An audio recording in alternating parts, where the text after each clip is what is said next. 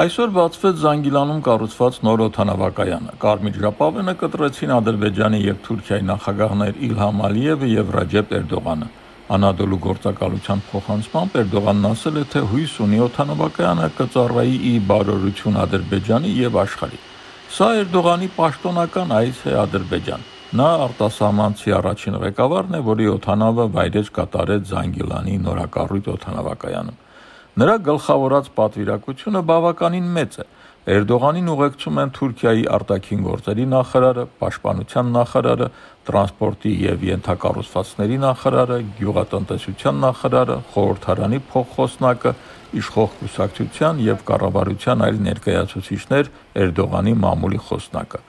Ալիևը եւ Էրդողանը շրջել են օթանավակայանի տարածքում, որը կառուցվեց 1.5 տարվա ընթացքում թուրքական ընկերությունների մասնակցությամբ։ Զանգիլանի օթանավակայանի բացումը ողջունել են թուրքալեզու երկրների կրոնական առաջնորդները, որոնց հավաքը Շուշիում այսօր ավարտվեց։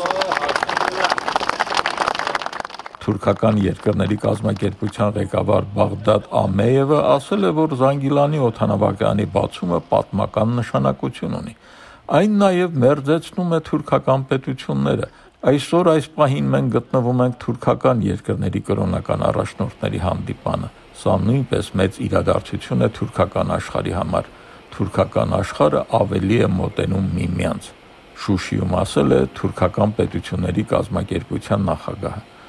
Օթանավակայանի տեխնիկական տվյալների մասին. Հաղորդվում է, որ թռիչքուղու երկարությունը 3 կիլոմետր է, լայնությունը 60 մետր, այն կարող է ընդունել բոլոր տեսակի օթանավեր, ներառյալ բեռնատար մեծ օթանավերը։ Մարդատար տերմինալը ժամում կարող է սպասարկել 200 ուղևորի։ 44-օրյա պատերազմից հետո սա երկրորդ օթանավակայանն է, որ Ադրբեջանը կառուցում եւ բացում է Ղարաբաղից հարավ-արևելք ընկած շրջաններում։ 2021-ի հոկտեմբերին շահագործման էր հանձնվել Ֆիզուլի օթանավակայանը։ Այն կառուցվել էր ռեկորդային կարճ ժամկետում 8 ամսվա ընթացքում։ Մեկ տարի առաջ եւս Ֆիզուլի օդանավակայանի բացումը արեցին Ալիևը եւ Էրդողանը։